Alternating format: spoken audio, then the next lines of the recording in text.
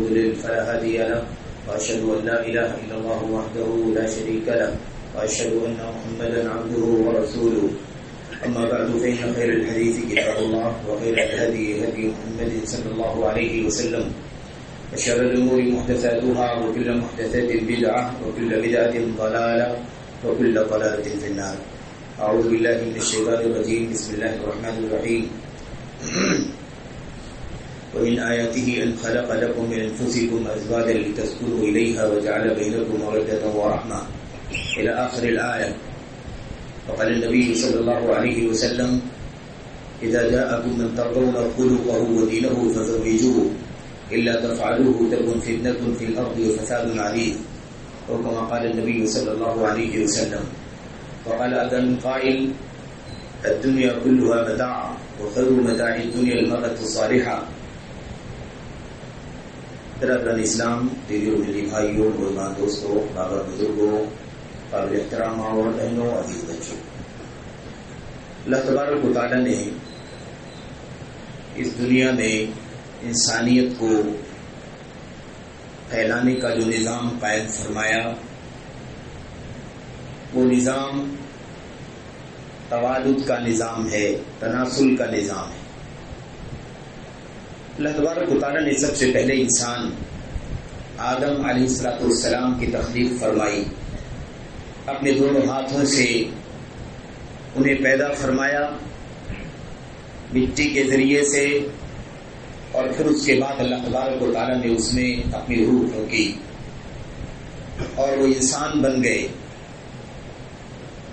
इस आगाज़ के बाद बकिया नस्ल जो आगे बढ़ी इंसानियत की, उसका निज़ाम अल्लाह तबारक ताला ने निकाह का रखा, शादी का, जवाज का रखा। यानी मर्द और औरत का मिलाप और उसके बाद अल्लाह तबारक ताला के हुक्म से नस्ल की अफजाइश, बच्चों की पैदाइश। इसी बात को अल्लाह तबारक ताला ने कुरानी करीम में फरमाया, या रबको ए लोगों, अपने रब से डरो। अल्लदी खलककुम मिन नफ्स वाहिदा। जिसने तुम सबको एक नफ्स से पैदा किया। वो खलक मिनहा जौजहा और उसी एक से उनके जोड़े को, उनकी बीवी को पैदा किया। वह बद मिनहुमा रिजालन कसीर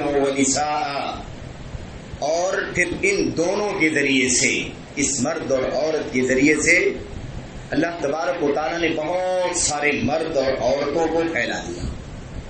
बहुत बड़ी तादाद, बहुत बड़ी आबादी, बहुत बड़ी बस्ती दुनिया के अंदर अल्लाह तबारक ने इस मर्द और औरत के ज़रिए से आम कर दिया।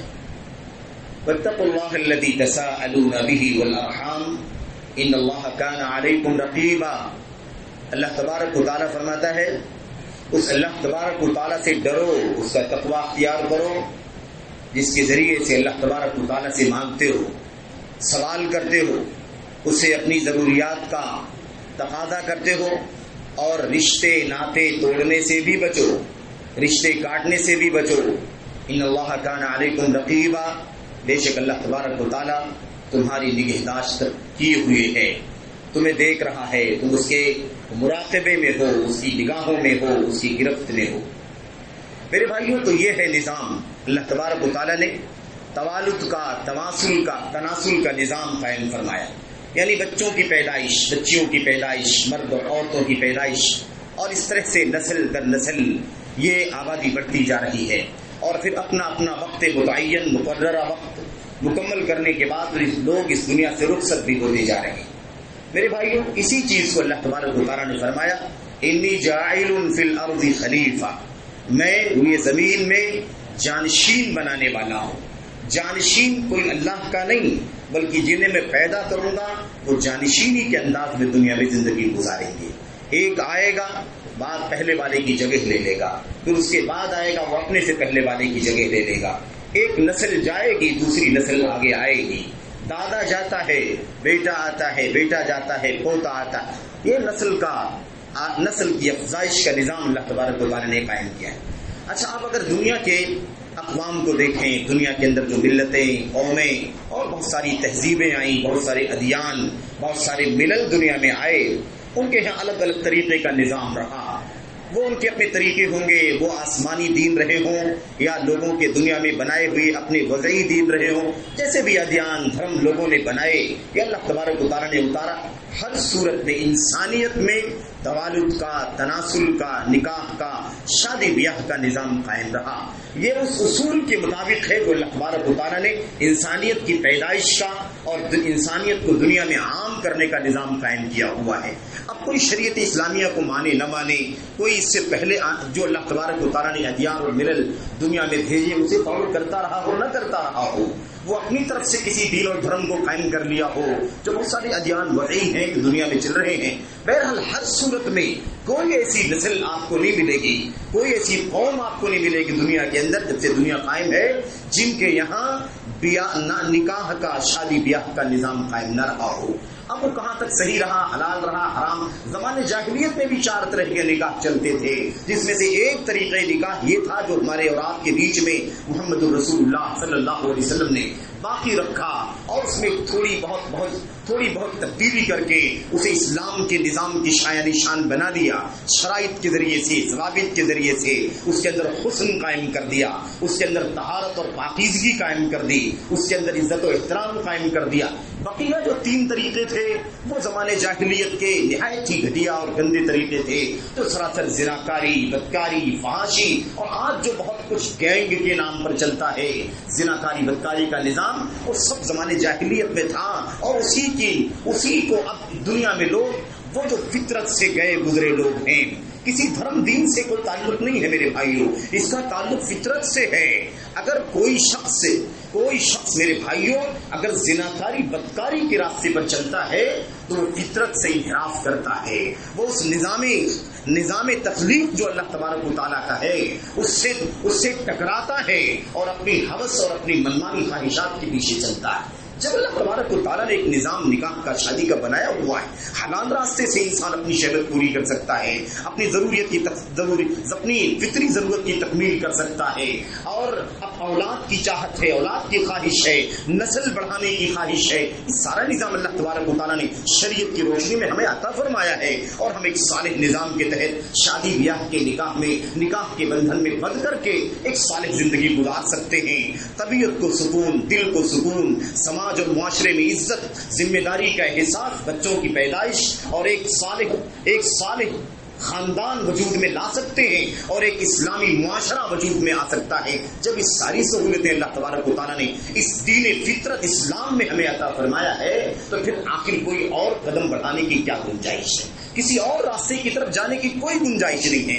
यही निकाह शरई, जिसका निज़ाम मोहम्मद रसूलुल्लाह ने अपनी सुन्नत में कायम किया है। अल्लाह के कलाम की आयात में जिसका तस्करा मौजूद है और उसे अमली तश्कील दी है। अमली तौर पर उसका नमूना अल्लाह के नबी सल्लल्लाहु अलैहि वसल्लम ने पेश किया है। अब उसके बाद हमें कोई और रास्ता, अपनी शहबत की तकमील का, अपनी हवस रानी की तकमील का, अपनी मनमानी करने का अगर हमने अख्तियार किया तो याद रखो कि हम हद से तजावज करने वाले फरार पाएँगे। मेरे भाइयों, मेरे बुज़ुर्ग कुरानी करीम की आयतों आयतों में एक से जायद जगहों पर इस मकबूल को बयान किया गया है। इस बात को बयान किया गया है। वल्लदीन हम लिफुरूजिहिम हाफिजून। वल्लदीन हम लिफुरूजिहिम हाफिजून। वो लोग कामयाब होने वालों में है। कामयाब होने वालों में वो लोग भी एक नुकता समझ लेना मेरे भाइयों, एक नुकता समझना। और आज मैं कुछ बात करना चाहता हूँ आपसे। ये मनहज का कोई मौजू नहीं है, ये अकीदे का मौजू नहीं है, लेकिन अकीदे से, मनहज से जुड़ा हुआ मौजू है। ये खालिश दीन से ताल्लुक रखने वाला मजमून है। ये न समझे कि शादी ब्याह, और शादी ब्याह का मौसम चल रहा है। इस वक्त शादियाँ हो रही हैं। निकाह के सुबह शाम प्रोग्राम दिखाई दे रहे हैं। मेरे भाइयों तो इस मौके पर ज़रूरी हुआ कि इस हवाले से भी कुछ बातें बतौर याद दहानी बतौर तस्कीर अपने लिए, अपनी जात के लिए, नफ्स के लिए, और आप तमाम अहबाब के लिए, भाइयों के लिए, बुज़ुर्गों के लिए, अज़ीज़ नौजवानों के लिए, और काबिल एहतराम माओ बहनों के लिए, और हमारी अपनी बच्चियों के इन सब के लिए बतौर हिदायत, बतौर तमहीर बतौर तस्कीर और रहनुमाई कुछ बातें अर्ज़ की जानी चाहिए। थी। इस एतबार से इस मौजू को मुंतखब कर लिया गया। लेकिन कोई ये न समझे कि ये मौजू समाज का मौजू है। कोई ये न समझे कि इस मौजू का ताल्लुक दीन से नहीं है। कोई ये ना समझे कि इसका ताल्लुक अकीदे से नहीं है। कोई ये ना समझे कि इसका ताल्लुक किताब और सुन्नत के मनहज से नहीं है। मेरे भाइयों यही गलत फहमी हमें न जाने किस किस मुनकरात में डाल देती है। शादी के नाम पर आज़ाद हो जाते हैं निकाह के नाम पर आज़ाद हो जाते हैं। और यही वजह है कि जबान जद है अवाम के भी खवास के भी निकाह मिन सुन्नती। निकाह मेरी सुन्नत है मोहम्मद रसूलुल्लाह सल्लल्लाहु अलैहि वसल्लम। हर आम खास नहीं, खास तो जानते ही, अवाम भी जानते हैं निकाह मिन सुन्नती। बल्कि मैं समझता हूँ कि मुसलमान नहीं, गैर मुस्लिम भी जानता है कि मुसलमान निकाह मिन सुन्नती कहता है। जब वो निकाह की, निकाह के और अक्द की जब वो तकरीब होती है तो ये लफ्ज पढ़ा जाता है, बोला जाता है। निकाह मेरी सुन्नत है। निकाह मेरी सुन्नत है। और दूसरी बात में अल्लाह के नबी सल्लल्लाहु अलैहि वसल्लम ने फरमाया, मन आम फमन लम यामल बि सुन्नती फरीसा मिन्नी जो मेरी सुन्नत पर अमल न करे, उसका मुझसे कोई ताल्लुक नहीं है। वो मन रगीब अन सुन्नती फरीसा मिन्नी जो मेरी सुन्नत से मुँह मोड़ ले, एराज कर ले, मुँह फेर ले, मनमानी करना शुरू कर दे फरीसा मिन्नी मेरे भाइयों, मेरे बुज़ुर्गों, ये बात समझने की है जमान जद है। निकाह मेरी सुन्नत है निकाह मेरी सुन्नत है, और हम अहले सुन्नत है। निकाह अल्लाह के नबी की हदीस में है और हम अहले हदीस हैं। भला इससे बड़ी दलील और क्या है? किस बारीकी में जाने की ज़रूरत है? कि निकाह का ताल्लुक दीन से है कि नहीं? ये समाजी मौजू नहीं है। ये दीन का मौजू है। ये अकीदे का मौजू मौजू है। ये मनहज का मौजू है। ये किताब और सुन्नत के दलाइल में बिखरा हुआ मौजू है। इसलिए इसकी अहमियत कम नहीं होनी चाहिए। अगर हमने इसको समाज का मौजू बना दिया, अगर हमने हमने अपनी, हमने अपने दरमियान इंसानी जाति ताल्लुकात का मौजू बना दिया, शादी ब्याह है ये, इसका ताल्लुक दीन से नहीं, इसका ताल्लुक अकीदे से नहीं। अगर ऐसा हमने बना दिया, इसीलिए मेरे भाइयों, हमने इसको बिगाड़ दिया।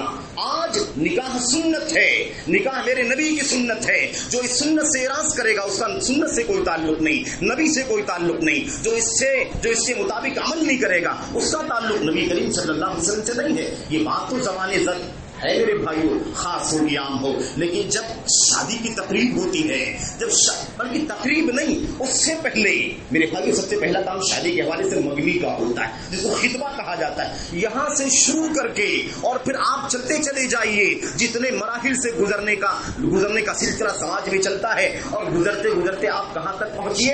आप हनी मून तक पहुँच जाइए। मैं समझता हूँ, शायद ये आखिरी मरहला होगा। अगर इसके बाद कोई नई चीज़ अगर नहीं ईजाद की गई है, कोई और बुनकर नहीं पैदा किया गया है। कोई रसम नहीं शुरू की गई है। तो मेरी समझ के मुताबिक आखिरी काम इसका हनीमून का होता फिर उसके बाद सब वापस आकर के ज़िंदगी और समाज में वक्त समाज में ज़िंदगी गुजारना शुरू करते। आप देखते चले जाइए, पैगाम से लेकर के हनीमून तक। कितने मुनकरात हमारे निकाहों में है, कितने रस्म रिवाज हमारे निकाहों में है। इसका ताल्लुक दीन से नहीं है, इसका ताल्लुक सुन्नत से नहीं है, इसका ताल्लुक नबी करीम सल्लल्लाहु अलैहि वसल्लम की सीरत से नहीं है, सहाबे किराम की ज़िंदगी से नहीं है। और सारी बातें नहीं कह सकता मैं आपके सामने, बस कुछ हवाले, कुछ इशारे मैं आपके सामने करूँगा। मकसद ये कि अल्लाह तबारक मुझे अपनी सलाह करने की तोफीक अता फरमाए। आप तमाम अहबाब तक की बातें पहुँचाने की भी पता फरमाए। समाज में समाज में बुराइयाँ, निगाह के हवाले से बे इंतहा आम होती चली जा रही है और सुबह शाम सुबह शाम उसके अंदर इजाफा होता चला जा रहा है। मेरे भाई सवाल ये पैदा होता है, निकाह तो सुन्नत है, नबी की सुन्नत है, नबी का अमल है, लेकिन निकाह में क्या क्या सुन्नत है? निकाह सुन्नत है, लेकिन निकाह में क्या क्या सुन्नत है? हमने कितनी सुन्नतों पर अमल किया और कितनी सुन्नतों को पामाल किया? कितनी सुन्नतों के बदले में अपनी हवस को, अपनी ख्वाहिशात को हमने जगह दे दिया?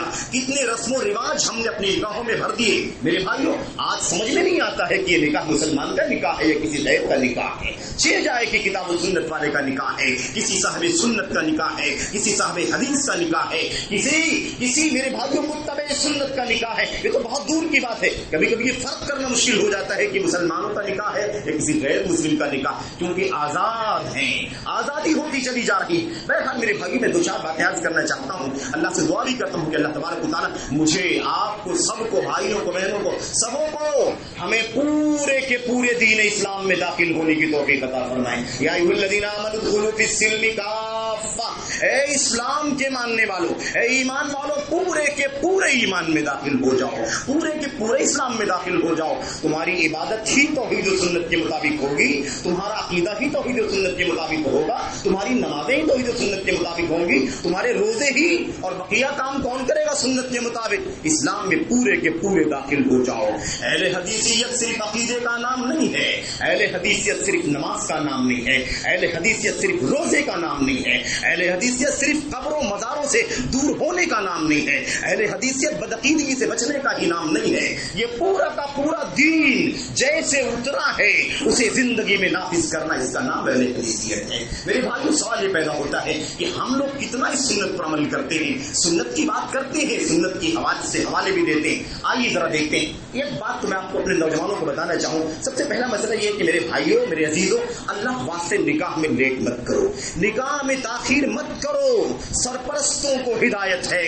जवानों को हिदायत है। बच्चियों को और बच्चियों के सरपरस्तों को, बच्चियों को नहीं, बल्कि बच्चियों के सरपरस्तों को खास तौर पर और उसके बाद बच्चियों को खास तौर पर ये हिदायत है। निकाह में जल्दी करो जल्दी करो। निकाह में लेट मत करो, क्योंकि निकाह में ताखिर करने की वजह से समाज में बुराइयाँ फैलती हैं। उसके अंदर शहवत का, शहवत की आग जलती है, हवस की आग जलती है। और न जाने कैसे कैसे जराइम जन्म लेते हैं। जिनाकारियाँ हैं, बदकारियाँ हैं, लिबादत है इकलामबाजी है। न जाने कैसे कैसे जराइम मेरे भाई इज्जतें पामाल हो रही हैं। इज्जतें पामाल हो रही हैं। हुरमतें मिट रही हैं। तकद्दुस का जनाजा उठ रहा है। नामूस का कत्ल किया जा रहा है। नतीजा नतीजा सबब क्या है उसका? सबब यह है कि निकाह को जैसे करना चाहिए, वैसे नहीं किया जा रहा है। निगाह में ताखिर करना भी बहुत बड़ा जुर्म है। आप याद रखें, क्योंकि वक्त का वक्त का बहुत बड़ा दखल है मेरे भाइयों। अल्लाह के कलाम की आयतों को आप देखें। अल्लाह के नबी सल्लल्लाहु अलैहि वसल्लम की हदीसों को आप देखें। आपको पता चलेगा, अल्लाह के नबी सल्लल्लाहु ने फरमाया आयतों में भी आप देखिए, हदीस में भी। क्या ताबीरात ईदा बला, जब पहुँच जाए, हत्ता ईदा बलगा और शुद्ध हो यहाँ तक कि जब मजबूती को पहुँच गया, यानी जवानी की दहलीज पर कदम रख दिया। अल्लाह के नबी सलाम की हदीसों को आप देखें। अल्लाह के नबी सलाम ने फरमाया अल मर अल अल बिन बच्ची जब हैज़ की उम्र को पहुँच जाए, यानी ये टाइम टेबल बनाया गया है।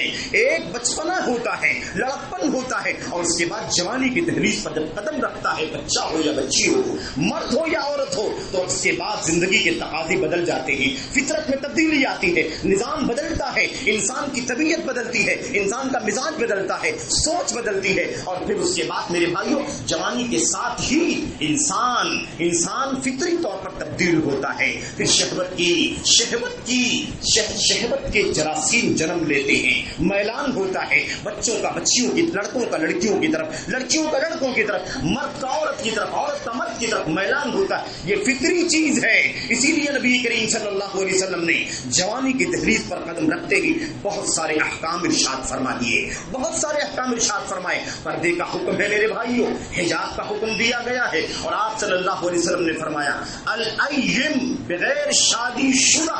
बगैर शादीशुदा, जैसे ही वो बुलूबत को पहुँचे, तीन चीज़ों को लेट नहीं किया जा सकता। तीन चीज़ों को डिले नहीं किया जा सकता। डिले करने में खतरा है, डिले करने में नुकसान है, डिले करने में गुनाह का काम हो सकता है। इसीलिए अल्लाह के नबी ने तीन चीज़ों को लेट नहीं किया जा सकता है। उसमें से एक चीज़ अल्लाह के नबी ने फरमाया बगैर शादीशुदा लड़का हो या लड़की हो बुलूगत के बाद ताखिर नहीं करनी चाहिए। जितना जल्दी मुमकिन हो, जितना जल्दी मुमकिन हो शादी का निकाह का प्रोग्राम तरतीब देना चाहिए। ताकि वक्त पर निकाह हो जाए। शहवत की आग अभी शुरू हुई थी। इसे फितरत के ज़रिए से बुझा लिया जाए। अगर फितरत के ज़रिए से शहवत की आग नहीं बुझाई गई तो फिर अब याद रखें, वो फितरत से झगड़ा करना, फितरत से लड़ना इंसान को गलत राहों पर, गलत गलत रास्तों पर डाल देगा। जिनाकारी के ज़रिए से ये ये ज़रूरत पूरी करेगा। बदकारी के ज़रिए से ज़रूरत पूरी करेगा। हाथ का इससे न जाने कितने जराइम इंसान करेगा। इसलिए याद रखो, अल्लाह के नबी सल्लल्लाहु अलैहि वसल्लम ने फरमाया कि तीन चीज़ें ऐसी हैं जिसको लेट नहीं किया जा सकता है, उसमें ताखिर नहीं हो सकती है। अल्लाह के नबी सलाम ने उसमें से एक मिसाल क्या बयान फरमाई? आपने फरमाया, शादी, गैर शादी शुदा लड़का या लड़की अयम उसी को कहते हैं। मल्लम ये तजवज कबल जवाज की सूरत है अयम को कहते हैं। अल्लाह के नबी सलाम ने फरमाया लेट नहीं करना चाहिए। लेट नहीं करना चाहिए। बुलूगत के बाद फिर खतरा है, फिर आदमी को संभालना भी मुश्किल हो जाएगा। तो सबसे पहला पैगाम ये मेरे भाइयों, सरपरस्तों माँ बाप को खास तौर पर अपनी ज़िम्मेदारी अदा करनी ज़रूरी है। अपने बच्चों का निकाह जल्द से जल्द करने की कोशिश करो। अपनी बच्चियों का निकाह जल्द से जल्द करने की कोशिश करो। क्या नहीं देखते कि समाज में किस तरह से जराइम बढ़ते चले जा रहे हैं? किस तरह से जनाकारी बदकारी पहाशी आम होती जा रही है? आबरू बाख्तगी आम होती जा रही है। और सुबह शाम अखबार और मीडिया के ज़रिए से जो खबरें हमारे सामने आती हैं। अल्लाह की कसम, हमारे सर शर्म से झुक जाते हैं। ऐसे ऐसे वाकयात, नाबालिगों के साथ, बच्चों के साथ, बच्चियों के साथ, ये जराइम क्यों जन्म लेते हैं? इसके असबाब में से एक बहुत बड़ा सबब, बुनियादी सबब यह है कि निगाह में ताखिर हो रही है। अगर जवानी के जीत की दहलीज पर और ब्लूमत के आगाज़ में ही अगर हम अपने बच्चों के निगाह करने की कोशिश करें तो मुझे बताओ कि गलत रास्ते पर कदम डालने की ज़रूरत कहाँ से पेश है।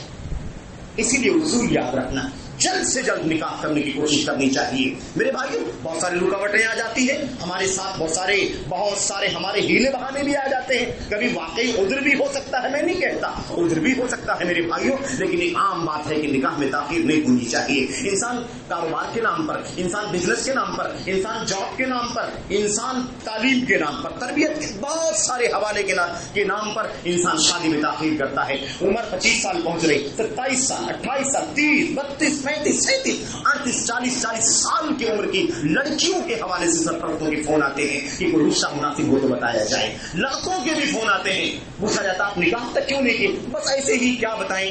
इसका इंतज़ार करते रहे, बाहर जाना था, ये वीज़ा इंतज़ार करता रहा, फना करता रहा। मेरी तालीम चल रही थी मुनासिब जॉब नहीं मिला, ऐसा हुआ। फना फना मसाइल और इस तरह के हवाले देकर के शादियों में ताखिर नतीजा ये होता है, मेरे भाइयों, कि फिर समाज के अंदर शहबत की आग भड़कने लगती है और समाज के अंदर जिनाकारी, बदकारी जन्म लेने लगती। और हालात कितने खराब है, मेरे भाइयों, बताने की ज़रूरत नहीं। तो एक बात नहीं दूसरी बात यह है, मेरे भाइयों, कि निकाह जो है ना, निकाह इसीलिए किसी टर्म कंडीशन से नहीं जुड़ा हुआ है। निकाह का निज़ाम जो इस्लाम के अंदर, शरीयत के अंदर है, उसे किसी ऐसे कंडीशन के साथ, किसी ऐसी शर्त के साथ, किसी ऐसी किसी ऐसी मुश्किल कंडीशन से इसको नहीं जोड़ा गया है, जिसकी वजह से निकाह करने में रुकावट आ जाए। निकाह करने में रुकावट आ जाए निकाह न कर सके, एक जवान निकाह करना चाहता है, रुकावट आ गई। ये कंडीशन है निकाह नहीं कर सकता। जवान बच्ची है, उसको निकाह कर उसका निकाह करना चाहते हैं, लेकिन ऐसी कंडीशन है, इस्लाम के अंदर उसे पूरा नहीं कर पाए निकाह नहीं हो सकता है। ऐसी तमाम तर शर्तों से, जिसकी बुनियाद पर निकाह जैसा फितरी काम, नेचर का काम, अल्लाह तबारक ने जो फितरत रखी है, हलाल और साले फितरत उसको रुकावट उसमें रुकावट डालने वाली कोई भी शर्त, कोई भी कंडीशन इस्लाम ने नहीं लगाई है। इसीलिए इसीलिए नहीं लगाई है ताकि ये फितरत का रिश्ता, ये फितरत का तकाजा, ये फितरी ज़रूरत जो हर बच्चे के अंदर है, हर बच्ची के अंदर है बुलूवत के बुलूवत के मरहले में पहुँचते ही ये तकाजा पड़ जाता है, शुरू हो जाता है। इसलिए कोई शर्त नहीं लगाई है। इतनी दौलत हो जाए तो शादी होगी, इतना माल हो जाए तो शादी होगी, इतना ज़्यादा बैलेंस हो जाए तो शादी होगी, इतनी इतनी डिग्री हो जाए तो शादी होगी। इस इस समाज का हो तो शादी होगी। इस इस बरादरी का और सेक्ट का हो तो उसकी शादी होगी वरना नहीं होगी। ऐसी कोई कंडीशन नहीं लगाई इस्लाम ने। इस्लाम ने ऐसी कोई शर्त नहीं लगाई। क्यों? ताकि ये फितरत का रिश्ता रुकावट के रास्ते में न चला जाए और उसको रुकावट पड़ेगी तो फिर हराम रास्ते से इसको पूरा करने की तरफ़ इंसान कदम बढ़ाएगा। इसीलिए इसको आसान करने का हुक्म दिया गया। आसान करने का हुक्म दिया गया। और मैं आपको बता दूँ शादी के पूरे प्रोसीजर में इस्लामी शादी की बात चल रही है। अभी मुनकरात की बात तो करेंगे, इशारा करेंगे इंशाल्लाह तुम्हारा खुदा। इस्लामी निज़ाम, शरई शादी, इस्लामी शादी का जो तस्वुर इस्लाम के अंदर, उसके एतबार से सिर्फ़ और सिर्फ़ दो अखराज माली खर्च, दो खर्चे, सिर्फ़ और सिर्फ़ दो खर्चे पूरी शादी के अंदर है बस। जो वाजिब है, ज़रूरी है, जिसको करना ही करना है अपनी अपनी हैसियत के मुताबिक बस इसके अलावा कोई तीसरा खर्चा नहीं है शादी के अंदर। इस्लामी शादी के अंदर। हमने बढ़ा लिया, हमने बना लिया और समाज ने उसको थोप दिया और हमारे ऊपर वाजिब कर दिया। इस्लाम के ऊपर इसका कोई दोष नहीं जाता। इस्लाम पर इसकी कोई ज़िम्मेदारी नहीं है कि हमने अपनी तरफ़ से क्या क्या वाजिब कर लिया है। इस्लाम के अंदर दो खर्चे। एक खर्च निकाह के अंदर क्या है? एक खर्च निकाह के अंदर महर का खर्च। महर देना है। जिसके ज़रिए से जिसके ज़रिए से अल्लाह के नबी ने फरमाया, बिमस्तहल्ला मिन फर्जिहा। बिमस्तहल्ला मिन फर्जिहा। मेरे भाइयों, एक हराम शर्मगाह को हलाल करने के लिए अल्लाह के नबी सलाम ने अल्लाह के कलाम के अंदर महर फ़र्ज़ की। ये महर एक खर्चा, दूसरा खर्चा वलीमे का है। वलीमे का खर्चा है। इन दो खर्चों के सिवा कोई तीसरा खर्चा नहीं है। और ये दोनों खर्चे अल्लाह तबारक ताला ने लड़की पर, लड़की वाले पर नहीं रखा है। ये दोनों खर्चे लड़के के ऊपर रखा है। दोनों खर्चे इसकी किसके किसके ऊपर है, लड़के के ऊपर है। ये लड़की की ज़िम्मेदारी में कोई खर्चा नहीं है, मेरे भाइयों। याद रखो, इसीलिए अल्लाह तबारक ने कुरान करीम के अंदर फरमाया, कुरान करीम के अंदर फरमाया रिजाल निसा मर्द औरतों पर जिम्मेदार हैं मर्द औरतों पर हाकिम है जिम्मेदार है उनके निगरा है उनकी देख रेख करने की ज़िम्मेदारी उनके सर के ऊपर है वो निगरा होंगे, वो जिम्मेदार होंगे अल्लाह तबारक ने मर्दों को कौम बनाया। और मुझे क्या बतलाई है? बीमा हमारा बात। एक बात तो ये है कि अल्लाह ने उमूमी तौर पर मर्दों को औरतों पर फजीलत अदा फरमाई है, इसलिए मर्द जिम्मेदार होगा। नंबर दो वो बीमान दूसरी वजह यह है कि मर्द मर्द अपने माल अपनी बीवियों पर खर्च करते हैं। तो बीवी पर खर्च करना है, और बीवी लाने के लिए भी माल खर्च करने की ज़िम्मेदारी लड़के के ऊपर है, लड़की के ऊपर कोई खर्चा नहीं है। अफसोस, इस समाज पर, हमारे इस समाज के ऊपर तो इस्लामी समाज है, मुसलमानों का समाज, किताब का समाज, सुन्नत का समाज हदीसियत का समाज, और मेरे भाई दीन के नाम पर हम लोग हम लोग हम शादी के मसले में इस कदर आज़ाद हैं, इस कदर हफ हवा परस्त हैं, इस कदर मादियत परस्त हैं, इस कदर दुनियादार होते जा रहे हैं कि हमने न जाने कितने खर्चे बढ़ा लिए और खर्चे बढ़ा नहीं लिए, बल्कि दूसरों के ऊपर बोझ बना दिया, जिसको अल्लाह तबारक ने खर्चे से बाहर रखा हुआ है। लड़की वाला, लड़की और लड़की वाले और उसके गार्जियन उनके ऊपर कोई खर्च नहीं रखा, अल्लाह तबारक ने। लेकिन हमने हमने इस कदर, इस मामले में जारहियत का सबूत देना शुरू कर दिया है कि आज एक मर्द, एक एक एक बाप और एक माँ, जिनकी गोद में कोई बच्ची पलती है, पैदाइश के साथ ही उन माँ बाप के जहनों में सबसे बड़ा जो टेंशन पैदा होता है, वो टेंशन ये होता है कि बच्ची आई है, इसकी शादी का खर्चा कहाँ से आए शादी का खर्चा कहाँ से आएगा? बाप को अटैक आ रहा है माओ को अटैक आ रहा है, खर्चा कहाँ से आएगा? दस लाख, बीस लाख रुपए खर्च करने पड़ेंगे। दस दस लाख की ये दुनिया परस, ये हवा परस मांग करते हैं निकाह करने के लिए, वरना हम अपने बेटे का रिश्ता से नहीं करेंगे। सवाल ये पैदा होता है कि ये निकाह का कोई इस्लामी रिश्ता है या कोई कारोबारी डील है ये? ये कारोबार चल रहा है, ये कोई डील चल रही है, ये कोई लेन देन चल रहा है, या कोई निकाह का रिश्ता है शरीयत इस्लामिया की रोशनी में, जो बिल्कुल सादगी के साथ होना चाहिए। और याद रखो, हमने पहले ही कहा है, इसका ताल्लुक समाज से नहीं है समाज ताल्लुक से, समाज से इसका ताल्लुक बाद में है, लेकिन ये मामला दीन का है। ये मामला सुन्नत रसूल सल्लल्लाहु अलैहि वसल्लम का है। इसमें आज़ाद हो जाना, समाजी मामला बना करके जिस तरह से चाहना, माल की हवस और दुनिया परस्ती के पीछे भागना, इसकी कोई गुंजाइश इस्लामी शरीयत के अंदर मौजूद नहीं है। मेरे भाइयों, अफसोस के साथ कहना पड़ता है कि इसको इतना मुश्किल बना दिया गया। इतना मुश्किल बना दिया गया कि शादियों को आसान करना चाहिए ताकि समाज में आसानी के साथ लड़के की शादी हो सके, लड़की निकाह में आ सके। हलाल रास्ते से लोग अपनी जरूरतें पूरी करें और अपनी ज़िंदगी के तकाजे पूरे करें। गलत रास्ते न खुले जिनाकारी की तरफ़ कदम न बढ़ाना पड़े, बदकारी की तरफ़ कदम न बढ़ाना पड़े। इसलिए इस्लाम ने इस निकाह को आसान किया है। हमने उस आसानी को मुश्किल में तब्दील करना शुरू कर दिया है। और इसका नतीजा हम खुद भी भुगतते हैं। हमारे बच्चों की नकाह निकाह में ताखिर होती है। हम भी खबरें सुनते हैं। हमारा बच्चा गलत रास्ते पर कदम डाल चुका है। हम अपनी बच्ची के बारे में वाकया सुनते हैं कि हमारी बच्ची ने गलत रास्ते पर कदम डाल दिया है। इसके पीछे इसके पीछे याद रखो, हमें खुद अपने किए का अपने किए का अंजाम और अपने करतूत की सदा भुगतनी पड़ती है। लेकिन अफसोस, हम माल माल की हवस में, दुनिया की लालच में, दुनिया भर के हीरे बना करके निकाह को मुश्किल करते मेरे भाई, अल्लाह के नबी मोहम्मद रसूलुल्लाह सल्लल्लाहु अलैहि वसल्लम की एक दो हदीसें आपके सामने आ जाएँ तो मैं समझता हूँ की बात मुआतर हो जाएगी। अल्लाह के नबी सलाम ने फरमाया था इन आदमन निकाही बरकतन ऐसर सबसे ज़्यादा बाबरकत निकाह, सबसे ज़्यादा अजीम निकाह बरकत के एतबार से वो निकाह होता है।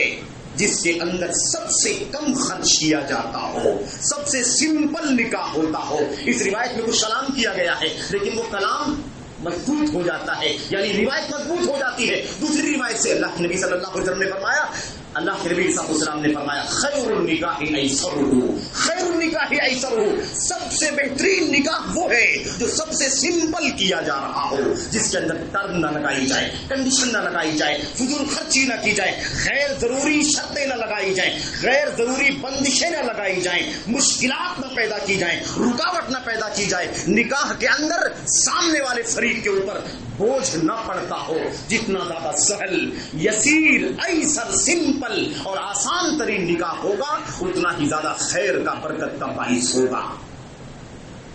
अपोजिट क्या है इसका? इसकी जिद क्या है? जिद ये है कि जिस निकाह में जितना ज़्यादा शराइत कायम किए जाएँगे, जितना ज़्यादा मुश्किल किया जाएगा, जितना ज़्यादा मालो दौलत खर्च की जाएगी, जितना ज़्यादा टर्म कंडीशन लगाई जाएगी, जितना ज़्यादा उसे रस्म रिवाज और मुनकरात के ज़रिए से मुश्किल बनाया जाएगा, उतना ही ज़्यादा वो निकाह बेबरकत होगा। बरकत से, बरकत खत्म हो जाएगी उस निकाह के अंदर। ये नबी करीम सल्लल्लाहु अलैहि वसल्लम की हदीस का पैगाम। मेरे भाइयों, और अंदाज़ा लगाना चाहे तो हम अमली तौर पर भी अंदाज़ा लगा सकते हैं। अमली तौर पर भी अंदाज़ा लगा सकते हैं, मेरे भाइयों। अहदे रिसालत में, अहदे सहाबा में, अहदे ताबईन में निगाह के न जाने कितने वाकयात हमारे सामने आते हैं। निगाह इतने सिंपल हुआ करते थे। चंद मिनटों में निकाह होते थे। कोई कंडीशन नहीं, कोई शर्त नहीं। बस सिर्फ़ और सिर्फ़ दो शर्तें। और अफसोस, जब ये दुनिया परस्ती की शर्तें आ जाती हैं, हवस और ख्वाहिशात नफसानी की शर्तें आ जाती हैं माल की लालच, माल की कंडीशन दौलत की कंडीशन उम्र की कंडीशन बिरादरी की कंडीशन सेक्ट की शर्तें लगाई जाती हैं और तालीम की डिग्रियाँ ऊँची से ऊँची लगा करके निकाह को कई कई साल डिले किया जाता है। तो याद रखो मेरे भाइयों, ये निकाह मुश्किल हो जाता है और जब मुश्किल हो जाता है तो उसकी बरकतें खत्म होती है मेरे भाइयों। अहदे रिसालत के अंदर निकाह हुए सिंपल निकाह हो गए, चंद मिनटों में बात हुई और उसके बाद और इसके बाद उसी शरीयत के उसूलों की रोशनी में निकाह कर दिया गया। जब ये शर्तें दुनिया की शर्तें आती है तो ये भी याद रखो कि दीन की शर्तों को पामाल कर दिया जाता है।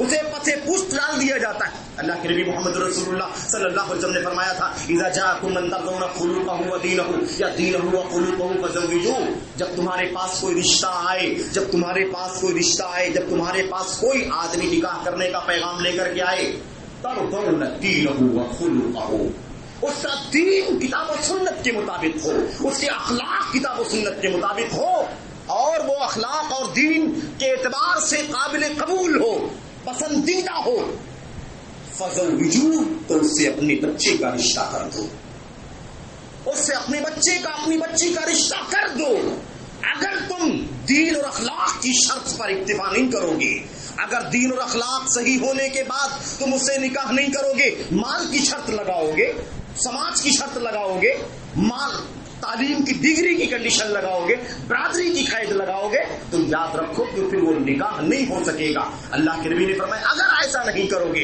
यानी दीन और अखलाक की बुनियाद पर तुम अपने बच्चों का, बच्चियों का निकाह नहीं करोगे तो क्या होगा? तकुन फितनतुन फिल अर्दी व नारी तो रुए ज़मीन पर बहुत बड़ा फसाद रूनमा होगा, बड़ा फितना रूनमा होगा रुए ज़मीन के ऊपर। इसलिए दीन की बुनियाद पर शादियाँ करो, अखलाक की बुनियाद पर शादियाँ करो। दीन और अखलाक की शक इस्लाम के अंदर है।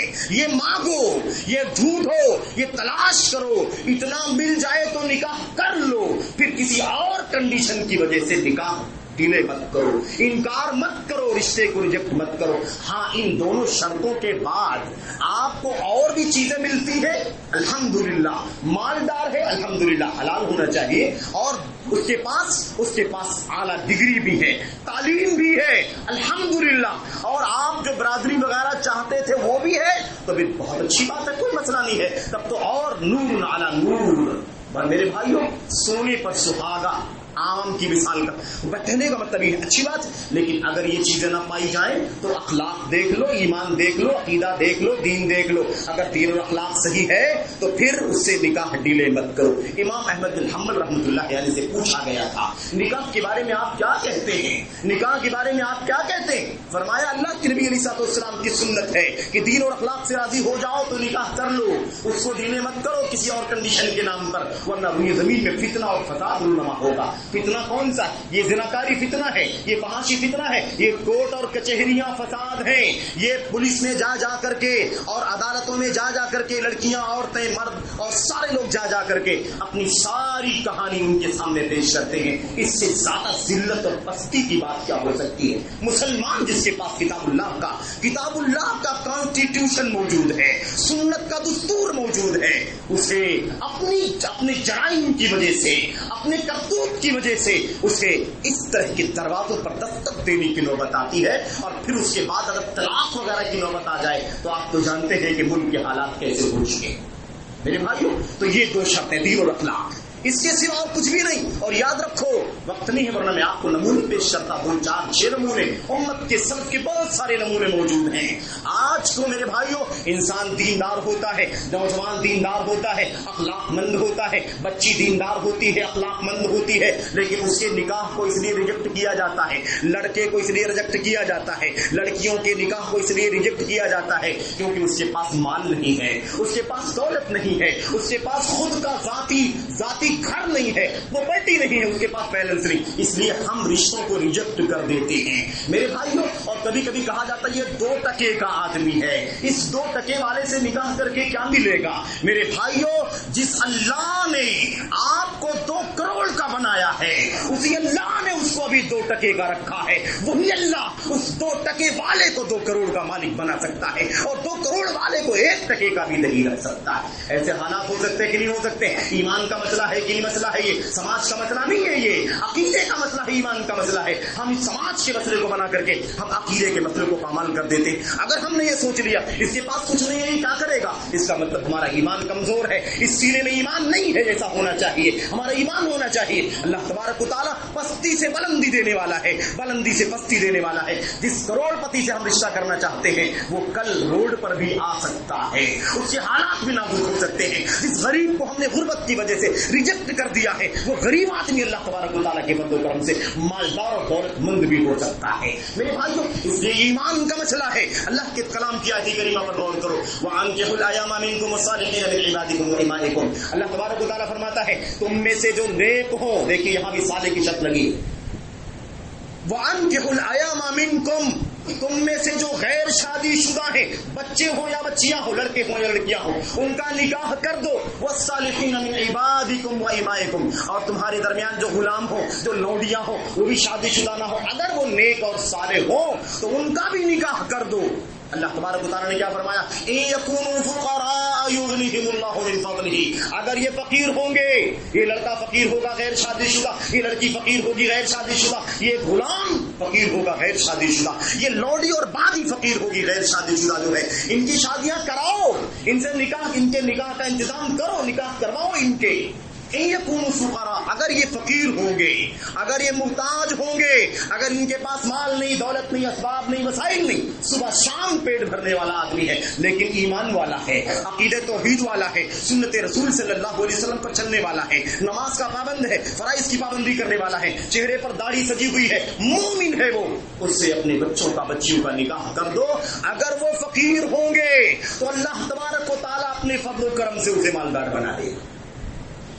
ये बात तो किसी और मौके पर भी बयान की जा सकती है। अल्लाह तबारक ने निकाह के टॉपिक पर क्यों बयान किया? निकाह करने का हुक्म दिया। गैर शादीशुदा लड़कों और लड़कियों का निकाह करवाओ। और उसके बाद ये बात बयान की। अगर ये फकीर होंगे, मुहताज होंगे तो अल्लाह तबारक इन्हें अपने फजल करम से मालदार बना देगा। यहाँ नौजवानों के लिए भी पैगाम है, जो अपनी मालदारी के लिए, अपने अच्छे जॉब के लिए, अपनी अच्छी सर्विस के लिए, अपने अच्छे कारोबार के लिए दो, चार, छह, आठ, दस दस साल तक निकाह को डिले करते निकाह को टालते हैं। जवानी ढलना शुरू हो जाती है।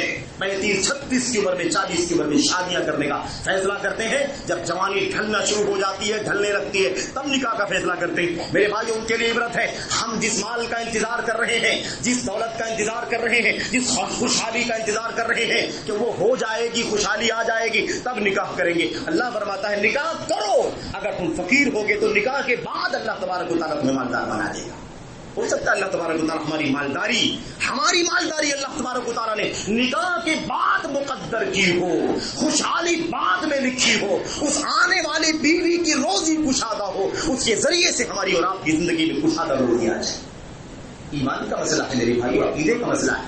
या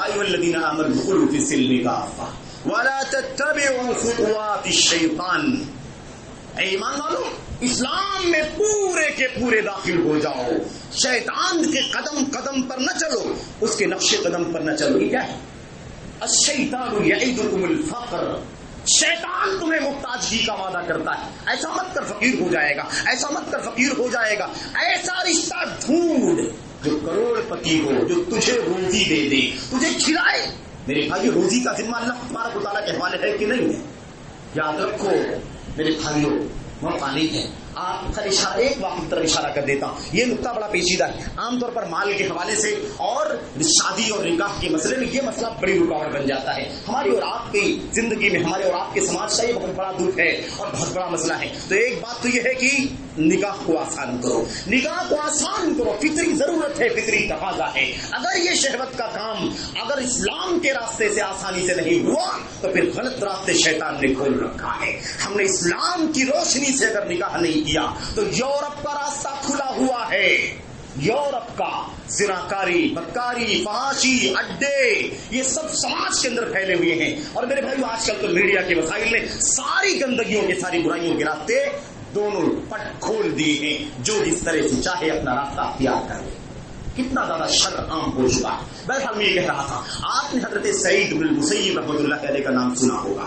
सईद बिन मुसैब जो अपने वक्त के फुकहा में से थे, किबार फुकहा में से थे, फुकहा किबार में से। और मेरे भाइयों, इमाम ताबेईन, सईद ताबेईन ताबेईन के सरदार थे अपने दौर में। हल्का लगता था सैकड़ों की, हज़ारों की तादाद में उनसे इल्म हासिल करने के लिए आते थे। मेरे भाइयों, उनकी बेटी थी वाकया। वाकया, इमाम जहबी ने अपनी किताब के अंदर, इब्ने खल्लिकान ने अपनी किताब के अंदर और दीगर मौरखी ने अपनी किताब के अंदर लिखा है। कुछ लोगों ने इसमें कलाम किया है, वाकया सही है, नहीं सही है? सही बात यह है कि वाकया मुस्तनद है और मुस्तनद ओलमा ने मुहक्कीन ने अपनी किताबों के अंदर इस वाक़े को पेश किया है। मेरे भाइयों, सईद बिन मुसैद की मजलिस में हज़रत कसीर इब्ने अबू अदा बैठते थे। इब्ने अभी वदा बैठते थे और हज़रत सईद बिन मुसैब की बेटी के लिए बड़े बड़े दौलतमंदों के रिश्ते आते थे। दौलतमंदों के रिश्ते तो आते दौलत तो आ जाएगी, लेकिन दीन नहीं आएगा, अखलाक नहीं आएगा। ये सोचते थे वक्त के इमाम कि मैं रिश्ता कर दू अगर इससे तो दौलत तो बहुत आ जाएगी। लेकिन अकीदा और ईमान कहाँ से आएगा? अखलाक कहाँ से आएगा? दीनदारी कहाँ से आएगी? इसलिए दौलतमंदों के रिश्तों को ठुकरा दिया करते थे। रिवायत में यह भी है कि वक्त के हाकिम की, हाकिम का भी पैगाम आया। वक्त के हाकिम का पैगाम आया अपनी बेटी से निकाह करने, अपने बेटे से निकाह करने के लिए। लेकिन सईद बिन मुसैब ने उनके भी रिश्ते को हाँ नहीं कहा। मेरे भाइयों, अचानक नेक चाहिए, दीनदार चाहिए, अखलाकमंद चाहिए, ये बच्ची को दीन के रास्ते पर लेकर के ज़िंदगी गुजारेगा। मेरे भाई तो यूरोप के नक्शे कदम पर नहीं चलेगा, दीन के रास्ते पर चलेगा। इसलिए फ़िक्र थी। मामला ये हुआ, कसीर बिन अबू बता एक दिन गायब हो गए मजलिस से। एक दिन, दो दिन, तीन दिन गायब हो गए। बड़े नेक और साले थे, परेशान हो गए सईद बिन मुसईद कि आखिर ये कहाँ चला गया नौजवान बच्चा? इस कदर दीन का और इल्म हासिल करने का शौकीन था। दो तीन दिन के बाद जब वो आए, पूछा, क्या मामला है? क्यों गायब थे? कहा मेरी बीवी की वफात हो गई थी? मेरी बीवी की वफात हो गई। मुझे गम हो गया और एक दिन, दो दिन, तीन दिन गम में चला गया। मैं तजहीज में, तकफीन में, दफनाने में चला लग गया और फिर उसके बाद दो तीन दिन निकल गए। अब मैं आज आया हूँ आपकी खिदमत में। फरमाया अच्छा तो इनका तुम निकाह करना चाहते हो? आगे तुम्हारा क्या इरादा है? कहा इब्न मुसैब रहमतुल्लाह अलैह, इब्न मुसैब जो साथ थे, कहा, आप ये बताइए कि मुझ गरीब से कौन रिश्ता करेगा? मुझ गरीब से कौन रिश्ता करेगा? मैं खा लेता हूँ, पी लेता हूँ, जो मुझे मिलता है। लेकिन महर में देने के लिए मेरे पास क्या है? सिर्फ़ दो दिरहम। क्या है? सिर्फ़ और सिर्फ़ दो दिरहम वही जिसको दो टके का मोल भी कहा जाता है। दो टके का कहा जाता है। वही दो दिरहम मेरे भाइयों, दो दिरहम मेरे पास है। मैं अगर निकाह भी करना चाहूँ तो मुझे कौन अपनी बेटी देगा? दो दिरहम मेरे पास बस उन्होंने कहा अच्छा क्या दो दिरहम अपने नफ्स को पाक करने के लिए काफ़ी नहीं है?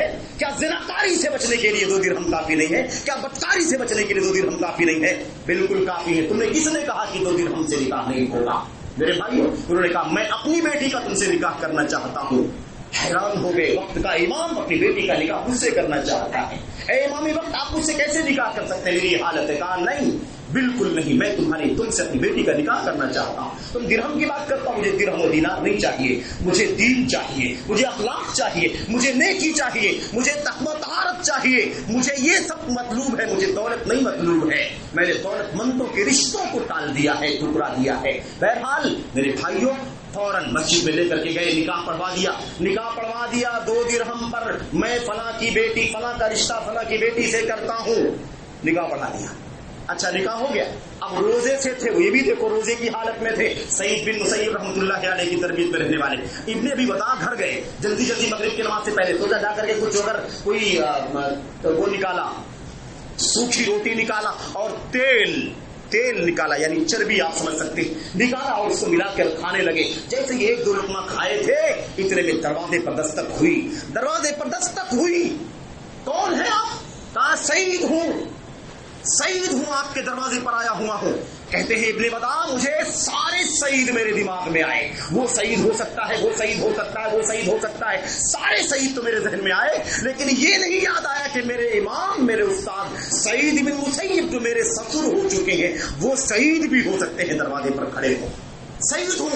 दरवाज़ा खोलो। दरवाज़ा खोला, सईद बिन मुसैब आँखों के सामने आए अरे इमाम आप आ गए कहा? मैं आ गया। मुझे गवारा नहीं है कि तुमसे निकाह मैंने अपनी बेटी का कर दिया है और तुम्हारी वहशत दूर करने के लिए तुम्हारी बीवी तुम्हारे पास ना हो, इसलिए तुम्हारे पास में हाजिर हो गया। हाजिर हो गया। उन्होंने सोचा कि आए बताने के लिए कि लड़की लाने वाला हूँ, अपनी बच्ची आपकी खिदमत में पेश करने जा रहा हूँ, मेरी रुखसती करने जा रहा हूँ। कहते, इतने में उनके पीछे मेरी निगाह पड़ी तो बेटी भी खड़ी थी जो मेरी बीवी बन चुकी थी, वो उनके पीछे खड़ी थी। और दरवाजे के अंदर अपनी बेटी को हवाले किया, ये ले जाओ, आपकी बीवी है। दरवाज़ा बंद किया और अल्लाह बरकत फरमाए अल्लाह बारक अलैका। व जमा बेलकुमाफी खैर। अल्लाह तुम दोनों की ज़िंदगी में बरकत अता फरमाए, वापस हो। गए ये है मेरे भाइयों, और जाओ उनके आगे की सीरत पढ़ो। कि उनकी ज़िंदगी कैसे गुजरी? तो मैं कहना यह चाहता हूँ, दीन और अखलाक की बुनियाद पर होने वाली शादियों में बरकत की तारीख जाकर के पढ़ो। कितनी बरकतें होती हैं? अगर दीन और अखलाक की बुनियाद पर सस्ती शादियाँ होती हैं, सिंपल और आसान शादियाँ होती हैं तो वो ज़िंदगी, वो खानदान, वो बाल बच्चे खैर बरकत की ज़िंदगी गुजारते हैं। उनका नाम आज तक ज़िंदा होता है। रहमत बरकत की दुआएँ की जाती हैं और सादत और नेकबख्ती की ज़िंदगी गुजारती। लेकिन अगर करोड़ों की दौलत खर्च दी जाए। लाखों की, करोड़ों की दौलत खर्ची कर दी जाए।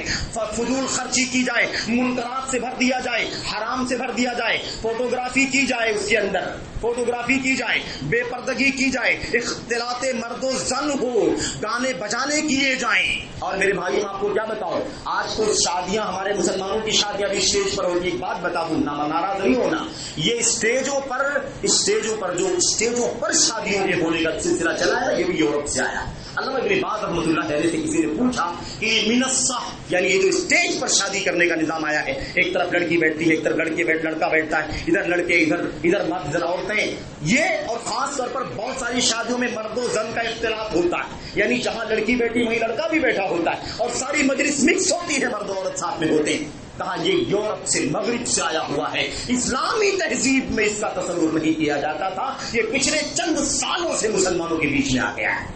मेरे भाई और फिर उसके आगे बढ़ते बढ़ते आप देखिए कितनी रस्में हैं। मेरे भाई हल्दी की रस्म है।